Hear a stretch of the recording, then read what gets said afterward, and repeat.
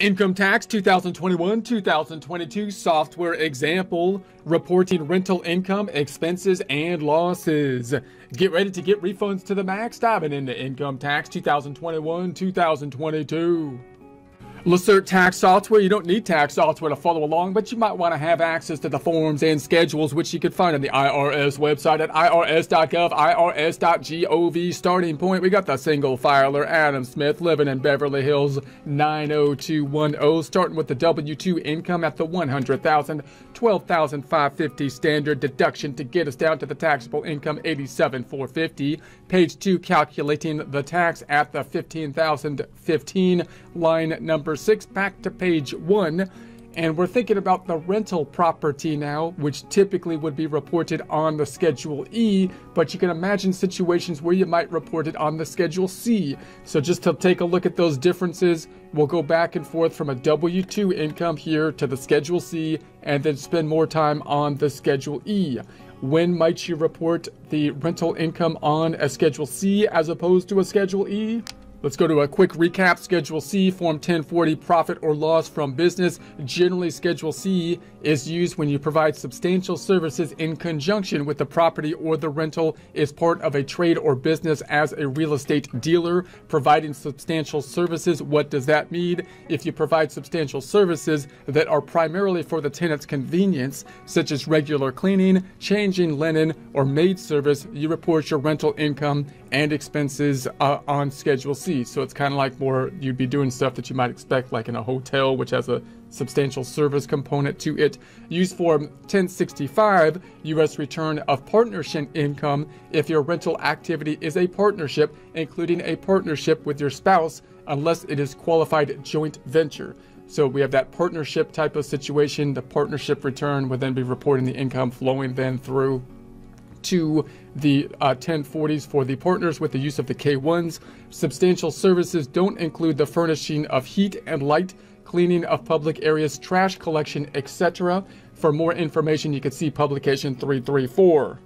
So the W2 situation is fairly straightforward. Let's go to the Schedule C type of situation. Let's say we remove remove the income from the W2 and then we go to the Schedule C first, and then we'll go to the Schedule E. It says a restaurant, but we're assuming it's it's rental property here. We're going to say this is 120,000, and then I'll put 20,000 in just some random expense for accounting. Got to pay our accountant well, right? And then we're going to go back on over and say this is going to be the forms. And so now we've got the Schedule C. So now when it flows in to page one, it's going through line eight if I go to the Schedule C just to look at the distinctions between the schedules and to consider what you as the taxpayer might be wanting to do uh, in terms of how you're going to re- report in your income or how you want to set things up, uh, would be on the Schedule C. You've got the 120 minus the expenses. The expenses, of course, being deductible in order to generate revenue if they're ordinary and necessary. That gets us to the 100,000.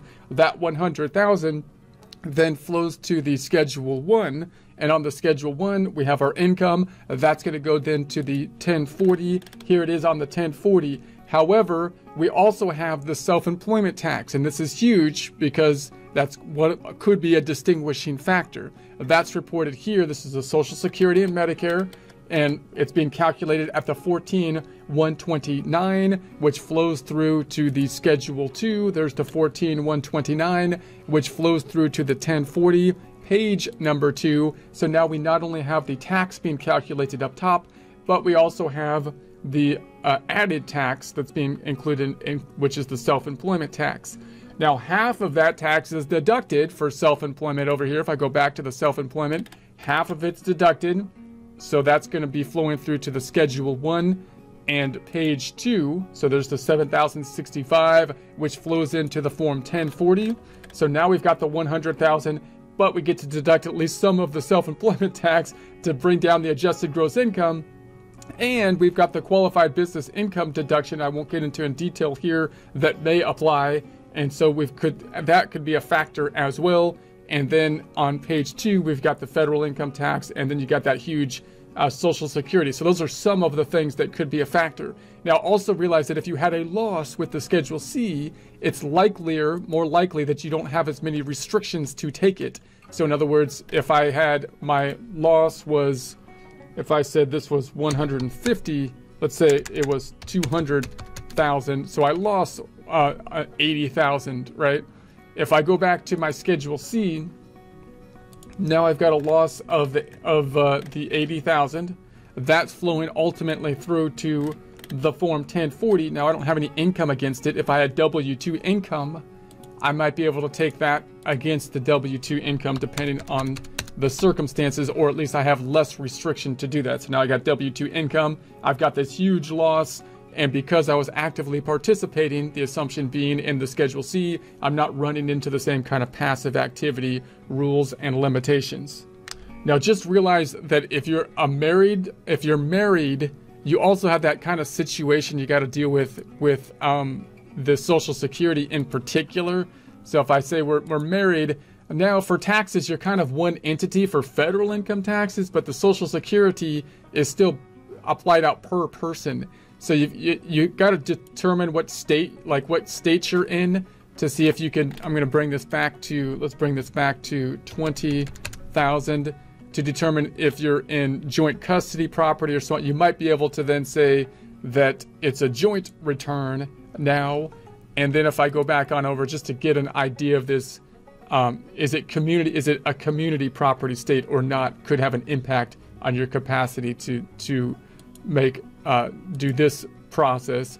So then we have the Schedule C. So we got the same 100,000 and the 100,000. But the point is that here, if it flows into the Schedule SE, then you actually have two of them because the self-employment needs to be applied out to the two here, Adam and Eve, so that when they get their benefits, they have this taken into consideration. That's one of the big factors with the Schedule C uh, why why it's important to have that breakout uh, broken out properly.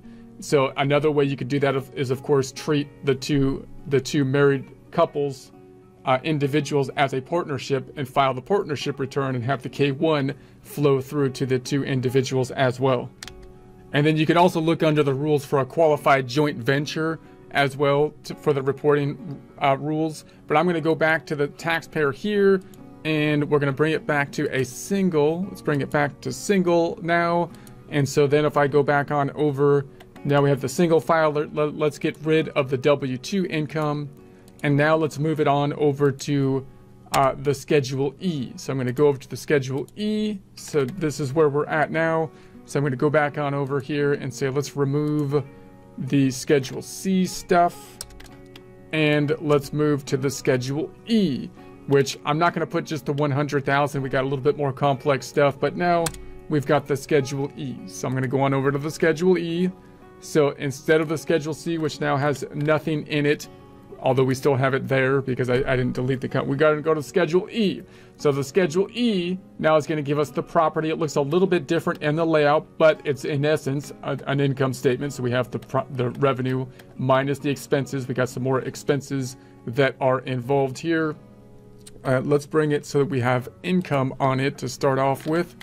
And so I'm going to go back down and say we have income. So there's going to be our income. And then that is going to flow in to the schedule one. So there it is on schedule one. And then the form 1040, I didn't do the exact same amount of income, but there's the 1040. And then we don't have the self-employment tax. So then we got the standard deduction. We don't see uh, line 13, generally the qualified business income and there's the tax, but then on page two, we don't see that other tax for the self-employment possibly. So you got some kind of pros and cons with the Schedule C to the Schedule E, meaning Schedule C, you might you don't have to worry about the passive loss kind of stuff so much, uh, so that could make things easier. But you might have the self-employment tax that uh, is going to be involved in it as well. And so there's, you know, if you're trying to think about how you're going to structure your business to see where you will categorize. You got to take those things into considerations if you're kind of on the border.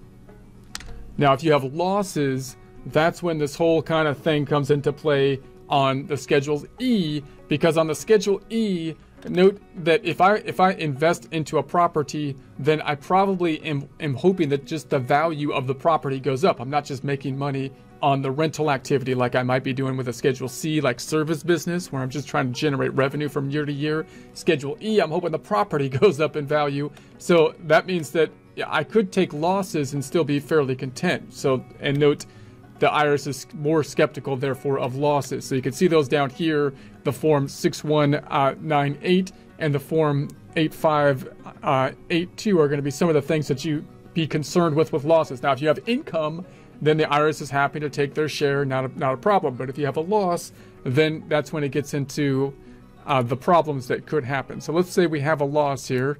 Let's bring the loss uh, up. So I'll say that we've got, let's say this is 180,000 and that should bring us to a loss, right? So now we have the loss, so the income is at the 120,000 minus then the expenses, minus the expenses of 194,040 with a loss, 74,040. We've got the two things that could take place that would limit the loss. Those would be the at-risk rules and then the the passive activity rules.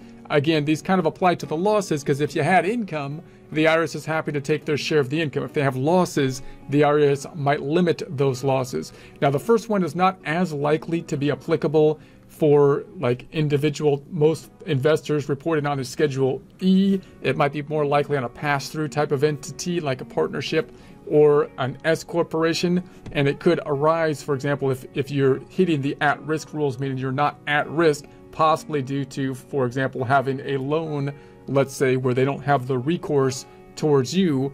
If you default on the loan, so you've invested money that you're not really at risk for, that's the kind of limitation that would be involved there. For most people that are investing in the property that aren't like reported on a Schedule E, then you are at risk uh, at that point. That's why the passive rules are usually the ones that are going to kind of uh, kick in there. But that form 6198 is down here. We're going to say 6198. You can check it out.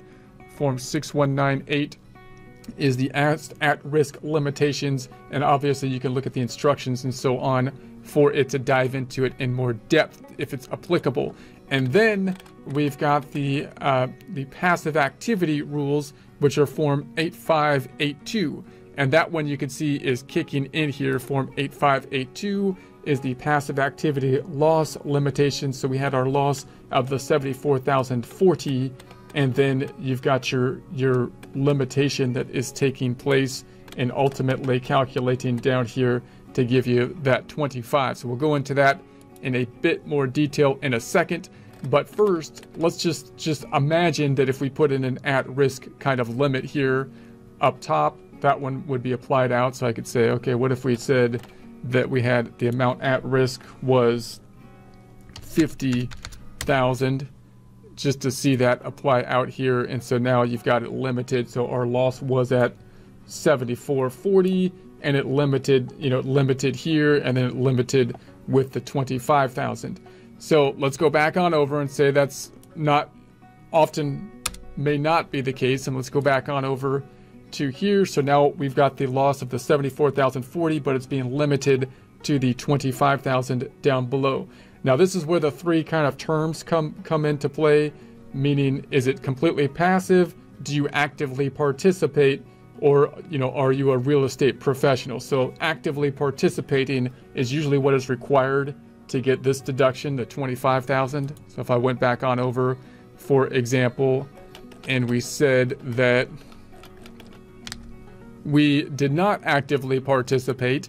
If we did not actively participate, then uh, you're gonna have a you're gonna have a limitation, and you can see the loss then not flowing in to the first page of the form 1040. Even if I had some other income here, you might have like W2 income, for example, of the 100,000, 100,000 that you'd like to take a loss against so it's not flowing through. But if I say I actively participate, so we're going to say, okay, I actively participate, then now that 25,000 uh, is flowing through here, that you could see the activity basically flowing through from the schedule E.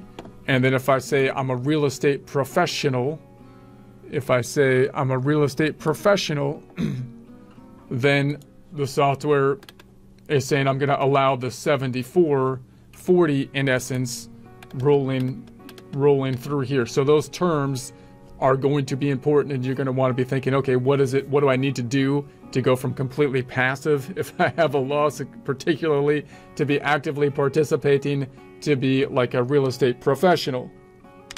Now that 25,000 will will phase out. So let's bring it back to the 25,000 and let's say that we actively participate so that we get that that 25,000. So if your AGI goes over like 100,000, then that could start to, to phase out. So let's say that I've got income of 120,000 and I go back on over to the forms. You can see it's basically phasing out with a with an income limitation, which you could see on the calculation for the passive activity rules here. I won't go through the whole calculation, but you got basically the limitation that is going to be imposed upon it for your AGI as you go over the 100,000.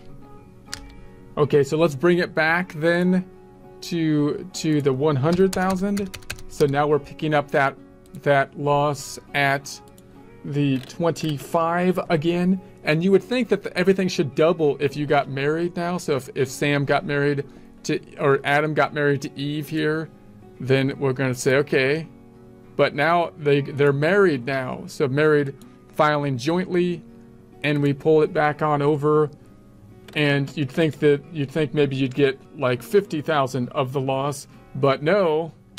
Like even if I say it's a joint venture here, we're going to say it's at, you know, the 20 the 25,000 on the loss and the limitation is similar too. So if I bring the income up over the 100,000 for the phase out, you think the phase out would be like 200,000 now, 120,000 now for the married, it's still reducing the loss. So it's kind of a kind of a funny funny thing for the for the that that that weird rule and you can see it kind of happened kind of like strangely in the law you can imagine what happened they said people are taking advantage of the rental real estate losses that on this passive activity. So we need to just make it all passive, and then they make it all passive. But then you got real estate professionals saying that's not fair because other people get to take losses, and I'm an actual real estate professional. You're hurting me, so we're going to put it back in, but we're going to put these weird rules on it. And then the real weird rules don't make a lot of sense when you go from married to married filing separate to single to so on. So you know it gets kind of that's where it landed. Now, when you got the depreciable stuff, you might have to file the form uh, 4562 depreciation and amortization. And you can see some of is recaps you know some of the depreciation and amortization here. And typically the software will have a more in-depth schedule which won't just group it by the categories here but give you the give you the the play by play as we saw in a prior presentation when we entered this information for the building, the furniture, and the land, and so on and so forth. So you might not be required to attach a schedule like this, but you should have a schedule like this. And if you're going from one tax preparer to another tax preparer in particular, the new one's going to need a schedule like this, even if it's not required to be filed with the tax return. So just uh, keep that in mind. Now, you could also have a situation you have multiple properties now. So now you can see on the form we've got property A, property B, and then the information related to them. I'm going to say 365 on 365 on this one too. And so you got your income statement for property A and property B. And so I just put two in here. One has a loss, the other have income. If they're similar in nature in terms of their passive, you know, activity status, you would think that even though you can't take the 74,040 against W2 income, you're limited in the passive activity rules possibly to the 25,000, that you could take it against other similar passive activity income. So in this case, we've got the two properties that are kind of similar in nature. So you would think that you could uh, net them out would be the general idea. So uh, you could have a you could also think about the choice to treat all interests as one activity and make a type of election at that. Just to give a quick uh, look at that here. If you were a real if you were a real estate professional and had more than one rental real estate interest during the year. So for a real estate professional, remember those big terms. Are you completely passive, actively participating, or a real estate professional? You can choose to treat all the interests as one activity. Uh, you can make this choice for any tax year that you qualify as a real estate professional, that is. Uh, if you forego making the choice for one year, you can still make it for a later year. If you make the choice, it is binding for the tax year you make it, and for any later year that you are a that you are a real estate professional. Now, if we go back to the original scenario, you also have this issue of this unallowed kind of loss that we have here. So if we've got a loss of the 75 or the 74040 and we only get to take 25 then are we just going to lose the 49 uh, 40 and you can kind of see the calculation of that on the passive activity here. So we see the loss calculation and then the 4940 the unallowed loss. Now generally you would think you could take that and roll it forward into the next period to basically see if we have income in the next period possibly taking the, you know the loss up to 25,000 in the following period and then if and then taking you know if there's any income against it you can basically net it out. What you can't do of course is net it out against the the ordinary income. So they're kind of like two income streams in their own track. You got to net out losses against losses that are of a similar nature passive a nature in this case. So for example if you had prior year losses of 100,000 that that you're going to roll forward into the current year, then you couldn't really take them because you already have losses in the current year. But you could see it kind of calculated on the passive activity. So these are the current year losses, the prior year losses, the 174,000, and then on page two, then we've got the losses that would be carrying forward, which would be the prior year losses plus the current year losses minus what we're taking in the current year of the 25,000 to be rolling forward the unallowed 149.40. So now let's say we had income in the current year. We had 100,000 loss that we're carrying forward and we had income in the current year. And so let's say that on the schedule E, we had income of, of the 100,000 or so. And so we'll say, okay, now we've got income here and so the revenue minus the expenses is going to be the income, which was 120,000 minus the expenses, which come out to 34 minus 34040. That gives us our 85,960. And now we've got this amount coming in from the passive, not limiting us, but possibly allowing us a deduction that's kind of rolling over from the prior year at uh, the 100,000, which is netting out. So then if I go to the passive rules, you can see here now we've got the the 85,000 active and then the 100,000 prior year to give us that 1414 which is rolling into the 1040. So even though we have income, we're netting out the 100,000 that we rolled for that we didn't get to take, we're imagining in the prior year, and then we would still have the limitation of the 25,000 that we didn't get to in the current year. So if I made, for example, my income a little bit less, like 40,000, then we get that 25,000 uh, limit that we're going to be that we're going to have. So basically, if you got the loss and you're an active participant, it might be capped at that 25,000 or less if you got the phase out for the AGI limitation, and then you might be able to get a benefit by rolling it forward, but you're only going to get a benefit if it's not already being eaten up by losses in the future year 25,000 possibly a, a year. Anything else rolls forward until it can be matched up against some other kind of form of passive income is kind of the general idea that you'd want in your head